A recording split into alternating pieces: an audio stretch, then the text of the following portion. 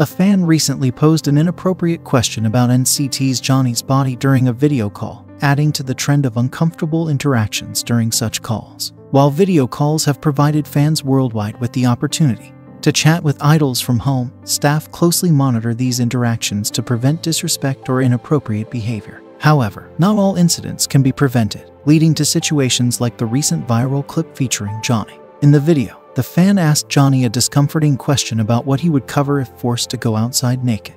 Despite the awkward nature of the question, Johnny played along, suggesting he would grab a towel. The fan insisted on a different response, stating there's no time to grab anything, leading Johnny to humorously respond that he would just be naked. This incident adds to discussions about how some English speaking idols, including Johnny, Felix from Stray Kids, and Vernon from 17, often face more overt disrespect. Fan etiquette is a topic of debate following such occurrence, as fans express the desire for their favorite idols to work and interact in an environment free from uncomfortable behavior. Make sure to comment your thoughts below. Stay tuned for the latest updates. Like, share, and subscribe. Thank you. Goodbye.